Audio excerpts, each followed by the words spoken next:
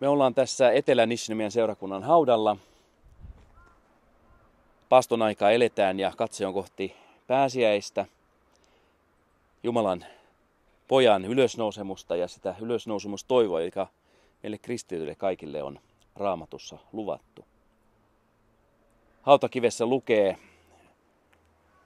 Jumala levittää siipensä sinun yllesi, sinä olet turvassa niiden alla – hänen uskollisuutensa on sinun kilpesi ja miekkasi. Psalmi 9.1.4. Täällä hautausmaalla suurin osa haudoista ei ole kristittyjä hautoja, mutta siellä täällä näkyy risti, joka julistaa omalla läsnäolollaan sitä, että myös Japanissa on ihmisiä, jotka uskovat Jeesukseen. Tässä haudassa on, tänne on haudattu kolme meidän seurakuntamme jäsentä tai heidän perheenjäsentä. Ylhäällä lukee himmellä Ootsun luterilainen kristillinen kirkko, alhaalla Etelä-Nissinamian kristillinen kirkko. Pääsiäisen sanoma ylösnousemuksesta on vahva sanoma.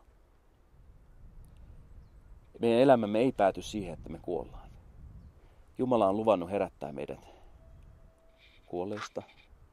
Ja sinä päivänä voimme yhdessä Jeesuksen ja kaiken Jeesuksen opetuslasten kanssa riemuta taivaassa. Tämä on se sanoma, minkä takia mekin täällä Japanissa tehdään lähetystyötä. Että yhä useampi japanainen voisi kuulla tästä toivosta, ylösnousemuksen toivosta, sitä ilosta ja rauhasta, jota Jumala voi heille antaa. Ja tämä on se työ, mitä mekin Nissinamiassa saamme olla mukana tekemässä. Olethan sinäkin suuressa mukana.